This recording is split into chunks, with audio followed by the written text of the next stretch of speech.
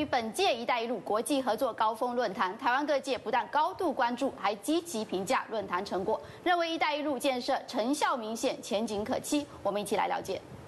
当今，呃，祖国大陆，呃，在推动这“一带一路”，呃，站在这个人类的世界的舞台正中央，然后为这个人类命运共同体的建构，呃，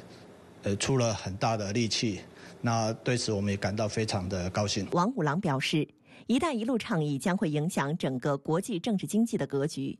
近六年来取得的丰硕成果，正面效益已经逐渐显现。而“一带一路”建设从大写意迈向工笔画，也有助于世界政治经济重心的东移。台湾中山大学政治学研究所副教授王群阳则认为，“一带一路”倡议刚发起之时是一个大的方向。在多年来取得具体成果之后，便需要进入新的阶段，根据各个地区不同的情况进行特别的设计，从而因地制宜，产生更大的预期效益。在往新的方向迈进的时候呢，就必须比上一个阶段更具体啊，更精准的。来提出发展的方向啊，然后当然也欢迎这个全世界有意愿的国家能够参与，大家能够共享这个更精致的这个成果。台湾媒体同样高度关注论坛，台湾旺报刊发了文章，搭不上这班列车如何拼经济？文中指出，台湾无缘参与“一带一路”合作计划，除了在短期内失去投资机会、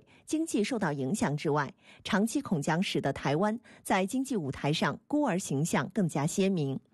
预计台湾如果再不抬头注意全球经济情势变化，即使改弦易辙化解两岸僵局，进而寻求与大陆之和平发展，届时台湾产业可能被迫沦为边缘化、空洞化，最后更加难解经济风险与危机。